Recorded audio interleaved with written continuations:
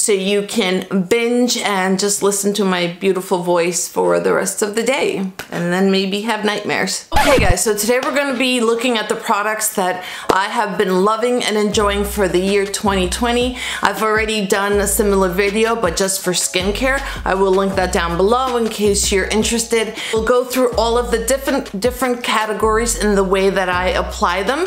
And um, I'll just give you a little bit of info on each one and why I love it so much. So let's get started. First category, primer. I always use two different primers. One to fill in my pores. That is always a must because my pores are very, very enlarged.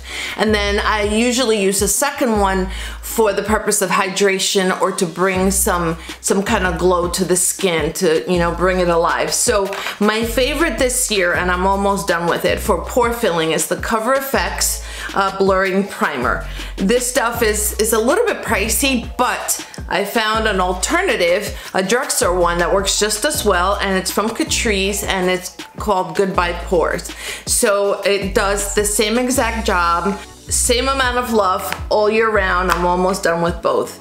And one that I have been loving this year for the purpose of hydration and some glow is this one from Gla uh, Touch in Sol and it's called uh, just called like that glassy skin. And it looks like this. And this is so delicious on the skin. It just kind of makes your skin feel like happy and hydrated and I'm it looks like plump and shiny when I put this on. I don't know, it just makes the, the hydration just kind of sit on my skin a lot better and a lot more comfortable because in the winter months my skin tends to be more drier than normal. Okay, next category, foundations. So I started using a couple this year that I fell in love with and um, the first one is from IT Cosmetics. It's called Your Skin But Better Foundation plus skincare. And um, right off the bat, the fact that it has skincare makes me want to just grab it because uh, if you know any, anything about me is that I adore skincare, I'm obsessed. I take really good care of my skin. This foundation sits on the skin so beautifully. It is medium coverage, has a natural radiant finish. It feels really hydrating on the skin. I find that it, it wears pretty well throughout the day although with you know wearing masks um, you know it, we're putting we really are putting these products to the test if you have mature skin normal to dry I would highly highly recommend this one I love it so much the next foundation that I fell in love with is from the drugstore. It's uh, Milani Screen Queen. This has a natural finish. Um, um, shade 400 Toasted Chai. This foundation is a medium to full. So it's medium buildable, solid medium. I find that I have to um, not apply too much because I don't like full coverage foundations for, for mature skin, lighter uh, coverage is better. But this one, I find that you can really manipulate it. You can go light, you can go medium, you can build it up. It lasts really, really well on the skin. It looks pretty even at the end of the day. My skin feels, you know, still looks fresh. I love it. It has no scent. They have a really good uh, range uh, selection also for uh, for shades and you know it's from the drugstore. Milani really really killed it with this one. I love it. Another foundation from the drugstore that I fell in love with this year is from Flower Beauty. It is called uh, Get Real. So this is a serum foundation and for mature skin this is a, a plus because serum foundations tend to be light and hydrating. This one has antioxidants in it which also helps protect the skin from the, the environment, from the radicals in the environment. So that's also another big plus. I find that it doesn't settle into fine lines because it's such a lightweight formula. It doesn't feel heavy on the skin. I apply this on and it's almost, I, I don't feel it. It's almost like applying a CC cream. Uh, so if you have mature skin, um, especially in the winter months, I think it's so important to, to use hydrating products like this. So highly recommend it. So moving on to the next category, concealers. At the top of the line is My Jouer. This is their essential high coverage concealer. I am in the shade uh, Dulce de Leche. This concealer, I simply adore it. I don't normally reach for high coverage concealers the same as the foundations but this one if you just apply a little bit and then work with that as opposed to putting in a lot this this concealer is so beautiful. It looks so natural. It makes my eyes look completely blurred once I set it. It doesn't really settle onto my fine lines as much. I mean, but that's inevitable. It's gonna happen. We have lines, we have wrinkles. That's just part of life. There's no product that's gonna uh, do magic for you. It doesn't look heavy under the eyes. It doesn't look cakey, which for a high coverage concealer, that's uh, saying a lot. So the next product in that category is the Kosas concealer. Now this product is um, it's uh, like clean beauty in at Sephora, which means that they uh, use clean ingredients. They they don't use all those fillers that are um, you know, can cause sensitivity or that are harsh for the skin. This is a light, very light consistency. I love it for days when I just want to um, apply a little something and then be and then be out the door. I find this to be hydrating under the eye. It is not drying at all. And the last concealer that I fell in love with this year is the one from Rare Beauty. I am in the shade 320W, which I'm guessing is warm. I find this one to be very brightening under the eyes. It's a very uh, the consistency feels like serum so it goes on um, under the eyes very very smoothly. It almost feels like you're applying some type of you know skincare some some serum. That's exactly how it feels. I find it to not be drying. It feels so comfortable under the eyes. Like I said it lasts really well throughout the day but because it's so hydrating I find that this one you definitely need to set it. So if that's something that you don't like doing then this probably wouldn't be a good option for you, but I, I feel like for the winter months and for mature skin, especially dry mature skin, this is a great option. And I they have an amazing range of colors you know across all kinds of skin tones. So really really good product now moving on to powders. The loose setting powder that I have been loving for a very long time, and I think I've talked about it in my channel before, it's from Catrice, their HD Baking and Setting Powder.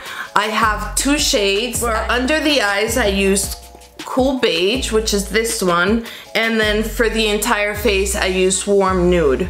This powder blurs your skin like you would not believe. I love it more than my Laura Mercier, 100%. And this is, um, you can find it at Ulta and it's drugstore price. So I love them so much. I just wish they weren't at Ulta. I wish they were more accessible in other places. Because Ulta, at least the one by me, customer service sucks. Anyway, moving on to finishing powders. So this one was in last year's favorite and it still is a favorite. Hit pan on it. This one, uh, I used the shade uh, 2 medium. Beautiful, beautiful formula. I will forever love this. It is an amazing finishing powder that just blurs and it disappears and makes your skin not feel dry. You can't even tell that you have powder. And everything that I just said about that one is the same for this one, Bobbi Brown.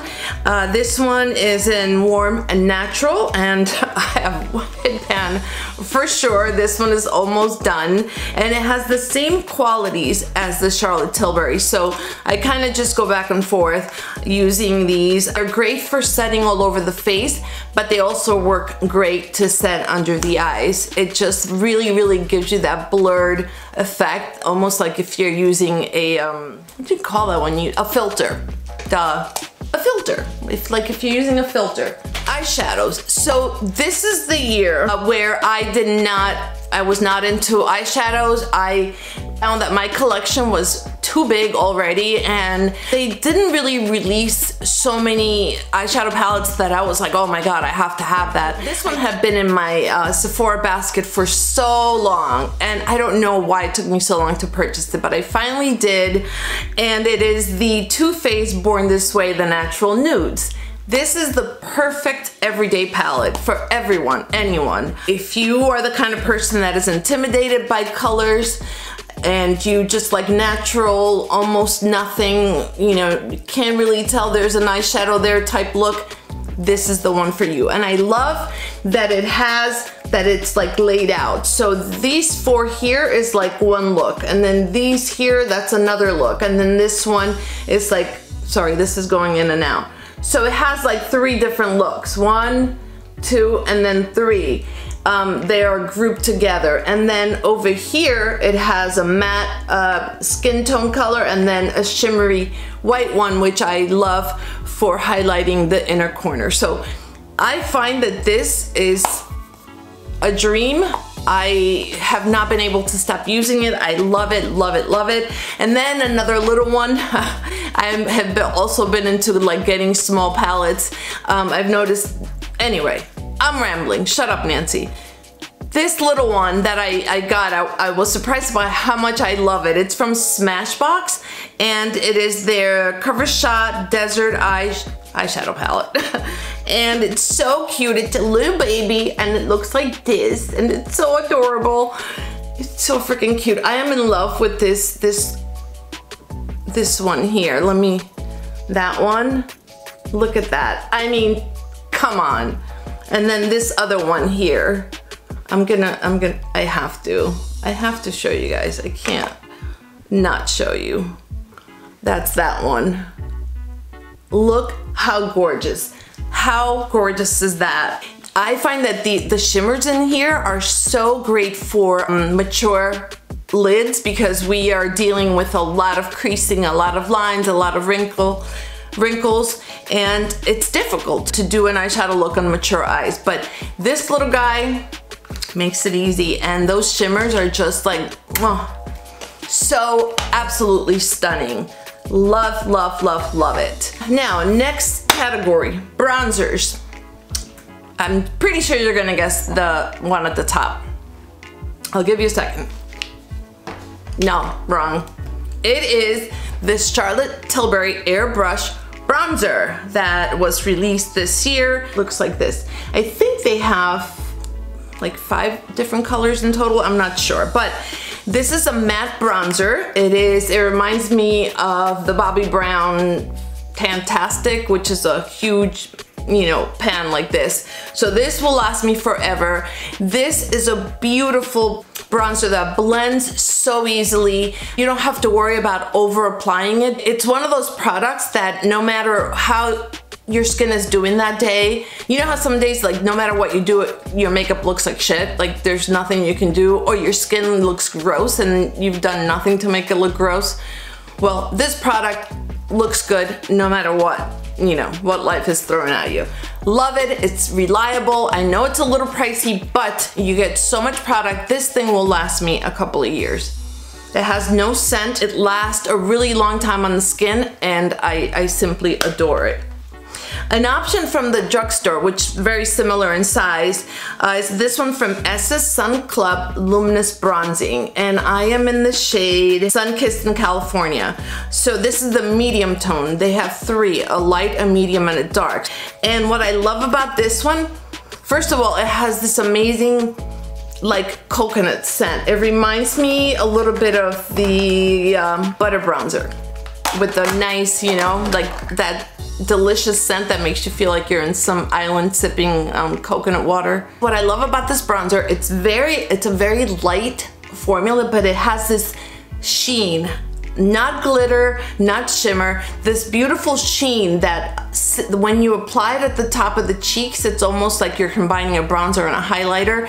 It's so subtle, it's very light, really, really thin formula. And when you, when you go like this, it just feels creamy. And this is the type of formula that I like because it won't be dry or powdery. This, if you buff it into the skin, it's, go it's going to like blend in as one with your, with your skin. And that's one of the reasons why I love it so much. And it's Essence, so it's super, super affordable. I just wish they would improve their packaging because uh, I have the products from them where the cap breaks off and um, I have to keep kind of just, you know, bring it back to life. Uh, but the quality, Essence products, quality is awesome, but they need to improve the packaging. Another honorable mention is this one from Wet n Wild. It's similar to the one from Essence, but this one, again, also packaging broken. I mean, I guess you get what you pay for, but it, what's amazing to me is that the quality is like like high quality, uh, like high-end makeup, but then you you know that it's from the drugstore and that it's affordable because the packaging doesn't last. But this one has like the same qualities, like I said, as the Essence. It's very, has this beautiful golden um, sheen to it. Uh, this one is just um, like three, four tones darker than the other one. So this one I use more in the summer months when I'm a lot darker. But this, um, you put it all over and you really, it makes you like glow and you look like you just got back from that beach that we talked about, uh, sipping that coconut water that that um, um, that none of us are getting because COVID said uh, we're not going anywhere. Next category is blush, and at the top of the list is Flower Beauty, their uh, blush bomb color drops for cheeks, and this is the shade Cinnamon.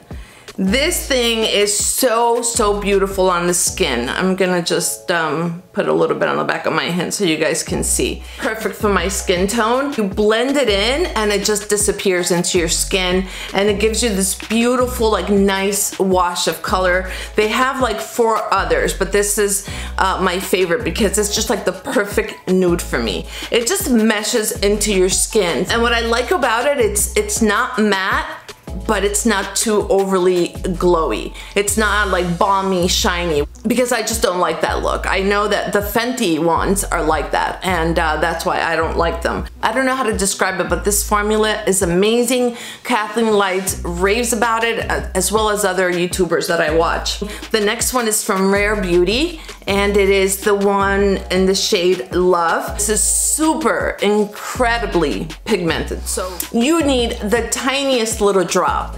And I love it because it has very long staying power. It meshes into your skin just like that other one. Now I have a, a powder blush that I love and it's from Catrice and it's like a perfect nude.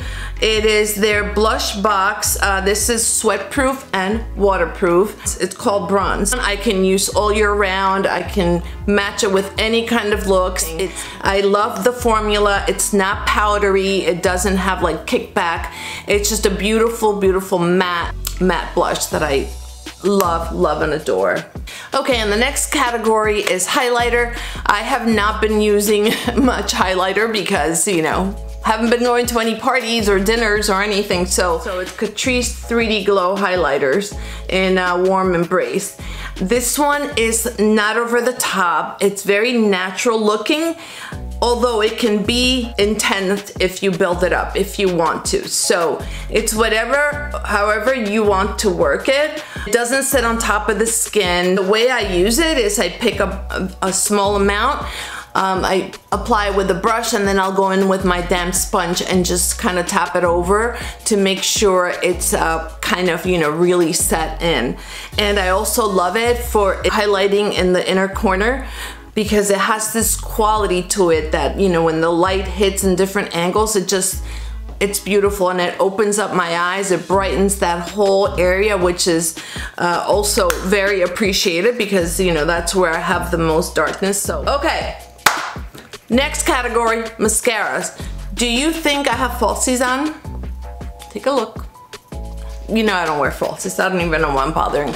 You've never seen me put falsies on, um, and there's a good reason for that. I don't know how.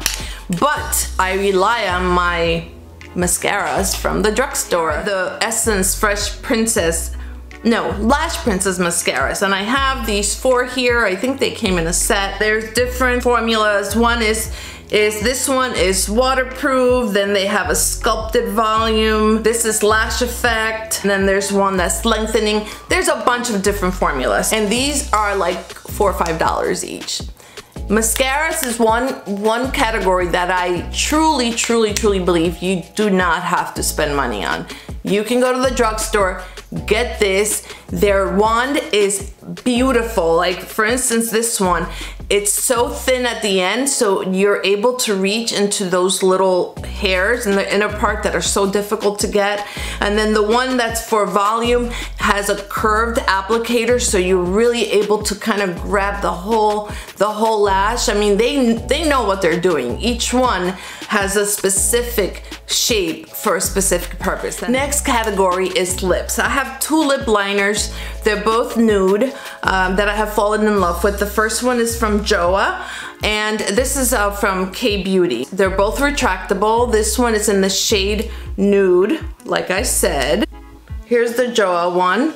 So it's like a pinky nude. This one, the quality, it reminds me of the 24-7 from Urban Decay. It's creamy, it applies really easily, it keeps lipstick in place, it, it prevents uh, bleeding. The next one is from Ace Beauty and the color is Be Peachy. And like I said, it's also a nude. Also retractable right there. It's also very creamy. I love, I love the quality so much. They're comfortable on the lips. They stay on really long. So these were two of my favorite discoveries. And then I rediscovered NYX lip products, specifically their butter glosses. I have this one in the shade Peanut Brittle. That's the shade on this one. I love, love the quality. I don't know why I stopped using them. And Again, this is gonna be nude. This makes the lips so, so uh, hydrated and, and comfortable. And then they have a, a matte formula. It's a soft matte, but it doesn't feel drying at all. It's such a thin formula, that one. It's a beautiful nude color. It's comfortable on the lips. It stays on. Uh, I feel like um, now uh, with having to wear masks all the time, this is the kind of formula that uh, has been working the most because it it kind of blends into my lips and it doesn't it doesn't budge but at the same time it's not like a liquid lipstick where your lips are gonna be like the Sahara Desert um, after using it so Love, love this product. I'm so glad I rediscovered it. Next category is brows. Uh, as always, this one will always be one of my top favorite, but uh, which is, sorry, the Anastasia Brow Wiz. I've gone through so many of these over the last three years or so, but I discovered that you do not need to spend that much on a pencil like this. The L'Oreal one, I don't have it with me because I, I finished it and threw it out. I find that it's almost an exact dupe. Also, LA Girl uh, makes a really good one, which is also very, very similar. They have really good shade ranges as well well. So from the drugstore, if you like this type of applicator, which is the really thin one, you can check out the L'Oreal and the LA Girl. Now, if you like a thicker formula, this is the one I've been gravitating towards. It's from e.l.f. and the color is um, natural brown, yes. And this one is good for days when I just want to th throw on a little something on my brows and then, you know, get it, get them filled quickly. There it is. It's a beautiful brown that just um, kind of makes my brows just look like put together, but in a really quick, natural way. I love, love this. It's so cheap, so affordable at the drugstore, and they have a bunch of other shades as well. I actually have it in red as well, which I was thinking of using like to fill in my, you know, um, the grays come in, but anyway, didn't really work out. But that's brows. Okay, my friends, and the last category, if you are still here, thank you so much for sticking with me um, and watching through the end. Last category is setting spray. I have two that I am in love with that I'm also almost done. The first one is from ColourPop. It's their Pretty Fresh Setting Mist and it has hyaluronic acid. This has a mister that it's so it's so fine and so thin and it has this beautiful coconut scent. It is just amazing. It really hydrates your skin. You feel this this like delicious sense of like, you know, like water being, you know, thrown into your face and it's just like a ah, moment type thing. And it gives you a nice glow but not over the top glow um, and it helps melt the powder if you have if you set your your face with powder going in with something like this it just it's like the final touch that makes that powder just kind of blend in into your skin. It, it makes it look flawless. I love it. And another one that I've been loving for a long time is from Catrice again. Shocker. It's their uh, Prime and Fine. And this is the multi-task, multi-talent one. This is the one that's for like, uh, for longevity. But they have one, which I have also, I, I finished and I couldn't find the bottle, but it's the hydrating one. They're both, both amazing. I use them interchangeably depending on what I need. Uh, for the winter months, I lean more towards the hydrating one but if I need my makeup to last, if I'm going to have a really long day or if I'm going out and I want my makeup to stay put, then I, I use this one. I would say this is a very close uh, dupe to the uh, Urban Decay All Nighter, which I've I've used before. I, I used up a whole bottle. Like the, the spray on this one, and this one also has this delicious scent that is just like, ah, it's so, so amazing. I love them both. So I'm going to link the best makeup of 2019 so you can take a look. Those products I'm still loving and enjoying. These are more like newer discoveries or things that I rediscovered that were sitting in my, in my collection. But um, take a look at that one from 2019 because there's some really good products there as well. Also, I will link the uh, skincare, best of skincare of 2020 so you can binge and just listen to my beautiful voice for the rest rest of the day and then maybe have nightmares tonight. But um, thank you so much for watching. Thank you for staying, uh, sticking with me throughout this video. I wish you a very happy new year. All the best, stay safe. I send you a big, big hug and a big kiss. Take care. Love you guys. Bye. Oops, lipstick. Bye.